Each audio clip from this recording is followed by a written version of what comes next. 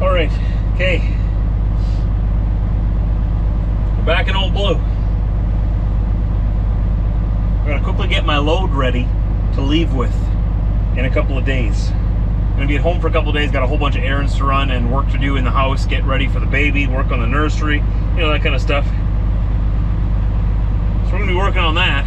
But in the meantime, I want my next load, it's already in the yard. I want it to be tied down and ready to go so that I can just go, when it's time to go, I can just go hook up and take off. We are looking for trailer 529. Reels, I wonder if this is it?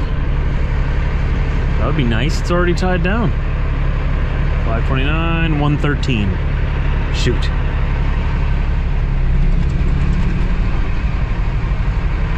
Won't be that. 529 will be a flatbed too. That was 113, that was a step bed. I think this will be it right here. Will be my reels. 529, that's it. And it's not tied down, nope. Just the first and last one just to make sure they don't roll away. I'm gonna tie that down, secure it, get it all ready to go right now so that when I'm actually leaving with this, I can just hook up and go. I was kind of hoping it would still be tied down, but that's not the way things go around here. Now we all have our own equipment. Like all my equipment is my equipment. So if I brought this here, like these were picked up in Saskatchewan. If I pick them up, I take my equipment back because it's my equipment. The next driver uses his equipment. And that way, if the load is tied down, it's his load securement, right? And if anything happens, it's his fault, not mine. Because he tied it down. I didn't tie it down, then he just drove away with the way I, you get it, right? Get it. All right. Well, it's not gonna tie itself down. 11 chains and these two straps, that's what it's gonna take. These were already on here. I'm gonna remove them for now so that I can get to that hole in the center. Got my chains over here already. I'm gonna do two chains here. Chain, chain, chain, chain, chain, chain, chain. Two chains at the back. Each one of these reels looks like it's about 900 kilograms each, which is 2,000 pounds. So we're looking at about 4,000 to 4,200 pounds per. So our load securement should be good. And I'm using our tarping station here at our yard. We have these sticks here, right? I have one over here that I'm using. Long stick. See? It's got a hook on the end. That's why I gotta move this strap out of the way. So, first of all, what you do here is you take this long stick with that hook, you stick it through there. It's easy to do it from up on the platform here, because you can get at eye level when you're on a flatbed through there and you can make sure it pokes all the way through. And you walk around to the other side. It's a lot of walking in flatbedding. You walk around to this side, you walk around to that side. See, I got all my equipment here already, waiting, working our way back from the front. I've just got, I've got this front one done already. I'm working my way onto this one. And now you see the hook came through there. Take the chain, it's a little bit high, but here's hook that on there, like that. And then you walk back around to the other side. Like I said, lots of walking. We're not door swingers.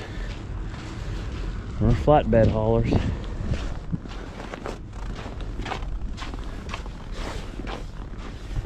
Now that we're back here, go back up the steps.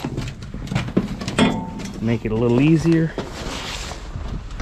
Grab onto this and you just pull it through. Like that.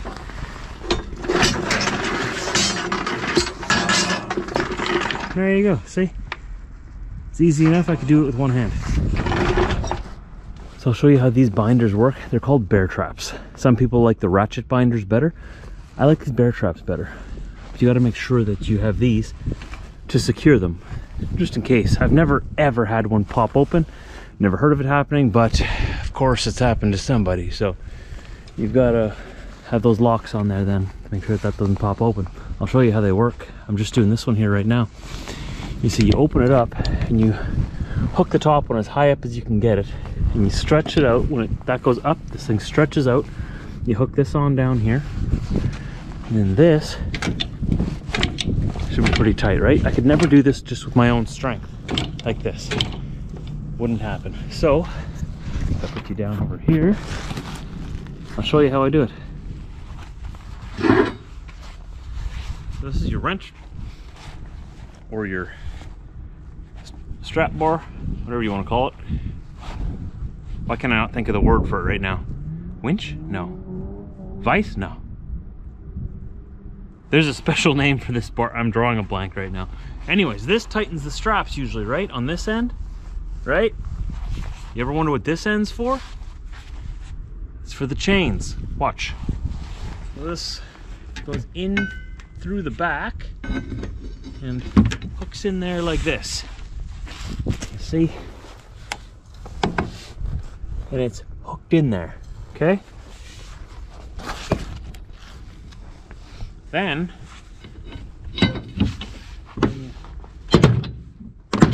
okay, so that's too loose.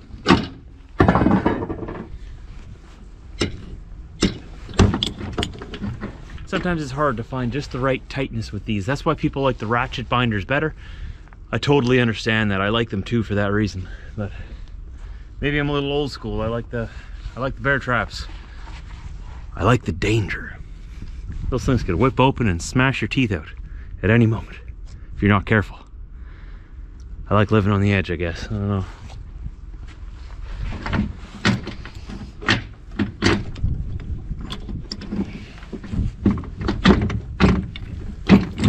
Sometimes you don't want to take too much, you don't want to take too little.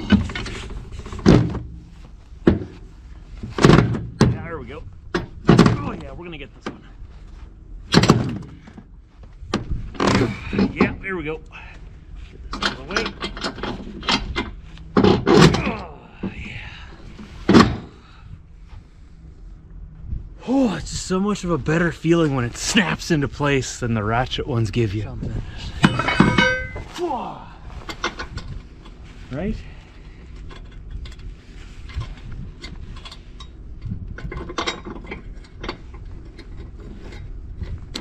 There we go. We put the lock on there like that.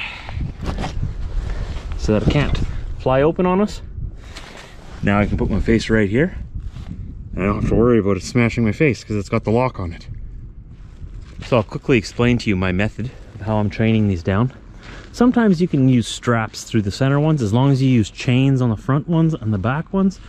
But since I'm going a little ways with these, uh, I'm using all chains. I don't want to mess around, right?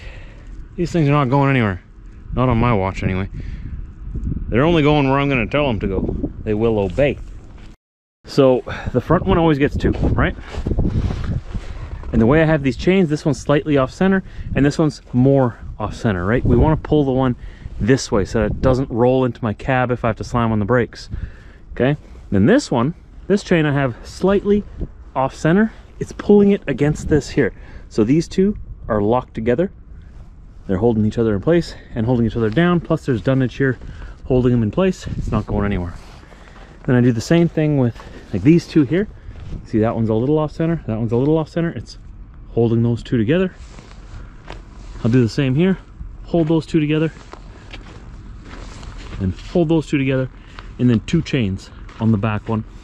One slightly off center to the back and then one more, more, much more at an angle, holding it on that way so it doesn't roll off, right? And they're all touching. They're all exactly the same size and they're all touching. So in order for one of these center ones to roll off, the back one would have to roll off. And all of them behind it would have to, then they're all pinned together, right? Even though I'm chaining like two to like two together at a time, this one here and that one there, even though these two are pinned together and those two are pinned together, the load is so tight on the trailer that this is still touching here too. So there's absolutely no way for it to wiggle. So these chains are rated at 6,500 pounds each and it's holding in place, like I said earlier, uh, about 4,000 pounds.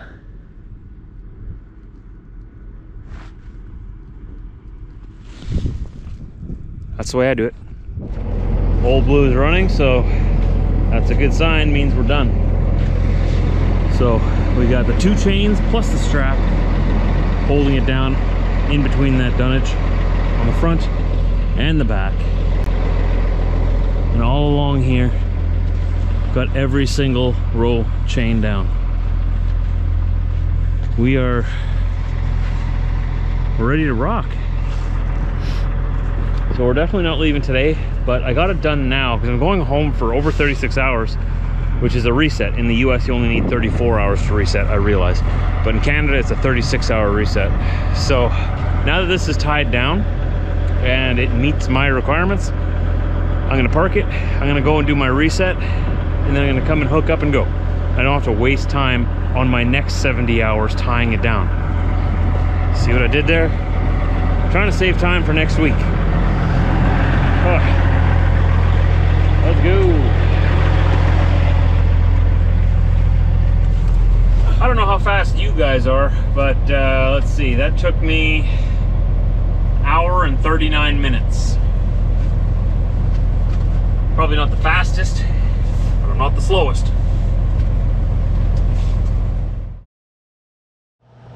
So that's how I chain down my reels. Now you see sometimes guys, like I said, put straps on the center uh, reels, which when it comes to weight wise, it works. There's only about 4,000, maybe 4,500 pounds uh, with the two reels, and each strap is rated at 5,400 pounds. So really, you only need a strap in there. But I'm taking this load into Ontario. Uh, it's gonna be two days drive. It's a little bit further than I usually go. And I want to make sure that these things aren't going to go anywhere. I don't want to take any risks because a strap could fray, it could break. There's no way a chain is going to fray, and it's very unlikely that it would break. They're rated at a lot more weight, like I said, 6,500 pounds per chain. These reels aren't going to go anywhere with those chains on there, and I don't have to worry about going through these two lane highways in Ontario and having one reel fly off into oncoming traffic or something. And big mess, a lot of paperwork. So I'm going to be home for a couple of days yet, a uh, day or two. But I already explained it. I went and picked that load up now and tied it down now so that I can have my reset on my logbook and start. All I got to do is go hook up to the trailer and go now. As long as no one messes with it. But, you know, I'll check it before I leave, obviously. But no one's going to touch it. Uh, hook up and go. And I don't have to spend part of my, my 70 hours from next week tying that down. Because, like I said, it took an hour and, what did I say, 39 minutes? Just over an hour and a half. Oh. Excuse me. I don't want to leave early in the morning. So, I don't have to worry about doing that. So thanks for watching everybody and I'll see you in my next video.